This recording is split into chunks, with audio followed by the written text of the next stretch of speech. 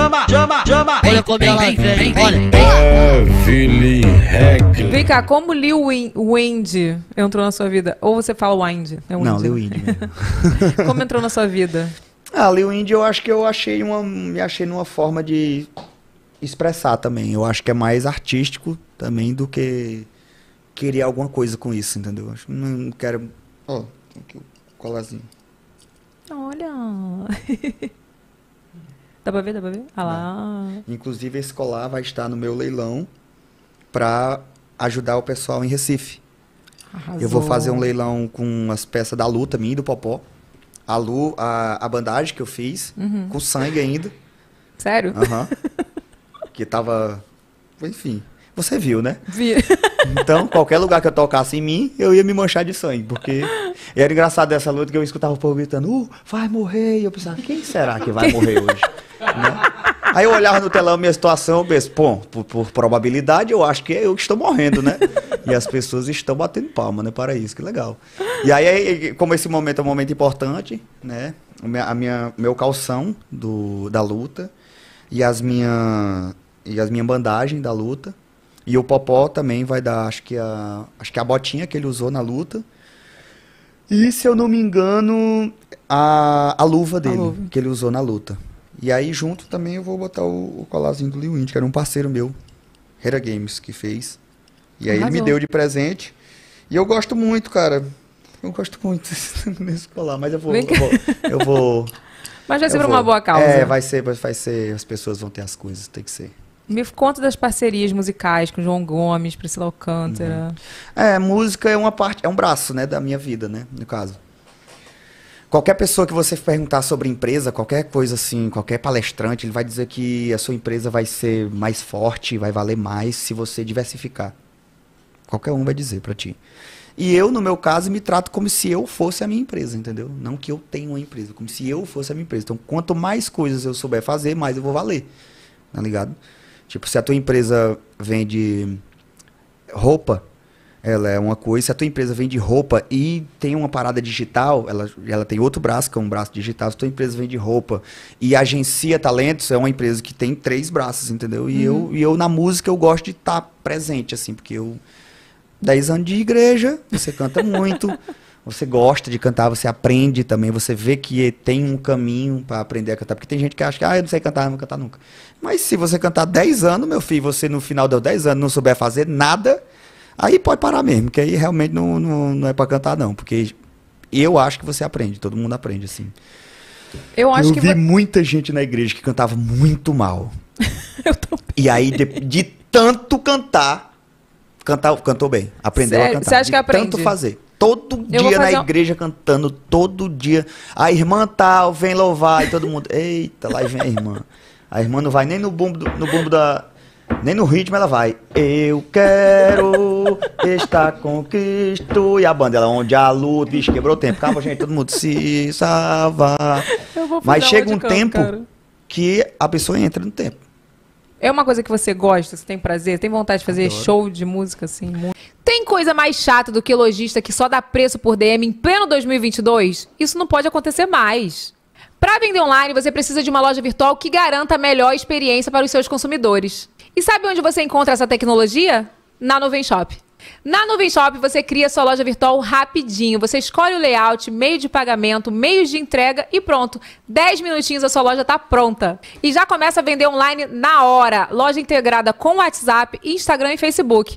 Aponta a câmera do seu celular para o QR Code que está aí na tela e garanta 30 dias grátis.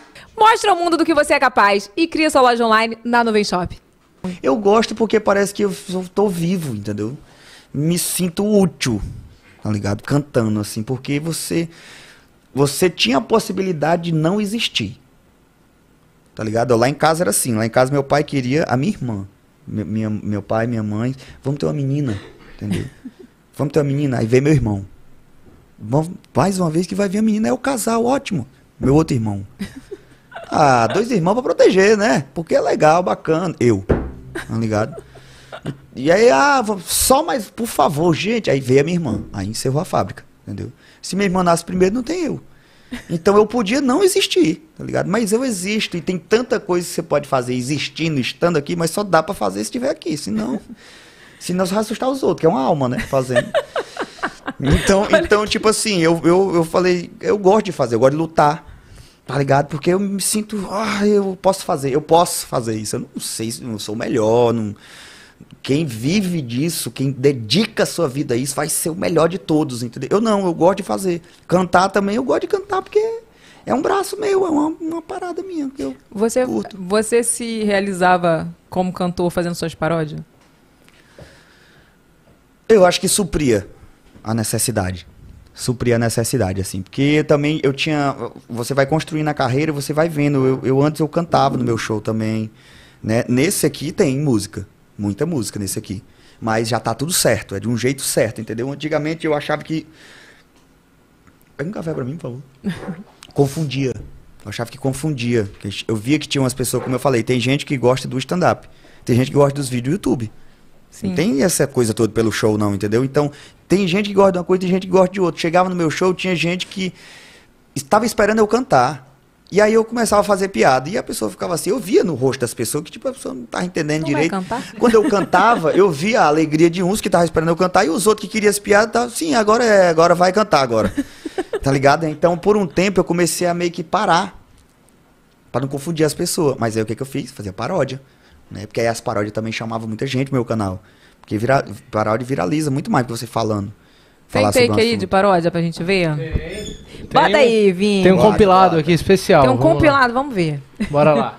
Qual é a senha do Wi-Fi? Por mais que achem que eu tô obesa, tô nem aí se eu visto GG.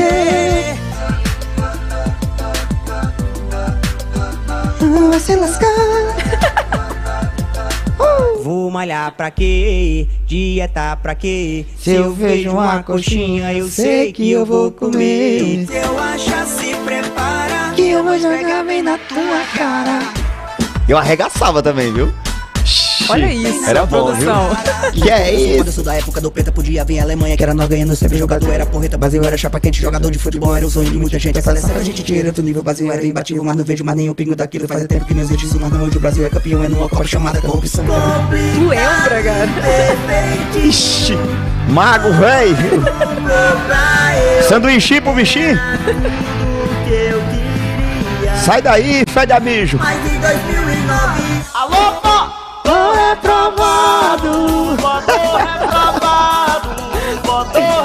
Essa é muito Tá boa. ruim, eu tô lascado Botou reprovado Botou reprovado Botou reprovado no Facebook Eu As legendas do tamanho? Não sabia nem editar o bichinho.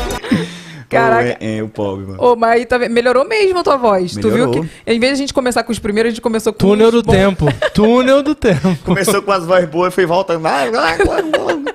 Não, palmas pro Marcelo que fez esse, esse compilado aí, Ah, ficou Marcelo. bom, ficou- Marcelo, ficou ficou muito bom. É, Quem você bombou com uma paródia sua? Teve essa história. Quem eu bombei? Teve essa história. Cara, tinha música que eu vou ser sincero com você. Eu não sabia cantar. Eu só sabia cantar tua paródia. Hum. Teve uma que não botaram aí do sertanejo, sabia? Ah, mas essa não pode mais hoje em dia, né? Não pode. É, É, não pode. verdade. Ah, é por isso que não botou, né, Marcelo? É, a gente vai aprendendo, né, com o tempo, né? Eu acho que- falar certas coisas, né? então, mas teve isso, não Nossa, teve? eu já falei muita besteira também no YouTube, meu Deus do céu. Eu também. Não, mas é porque, né? A gente vai começando e a gente acha que ser engraçado é falar qualquer coisa, de todo jeito, de toda forma e tudo, mas depois com o tempo a gente vai aprendendo, né? Até primeiro começa, começa a bater na gente, né? Quando é alguma coisa que a gente não curte, que a gente não gosta, aí a gente começa a entender a percepção de quem não curte quando alguém a gente fala uma parada assim, entendeu? Cheguei! Vaca Cast. Chama! Vem, vem, vem, vem, vem.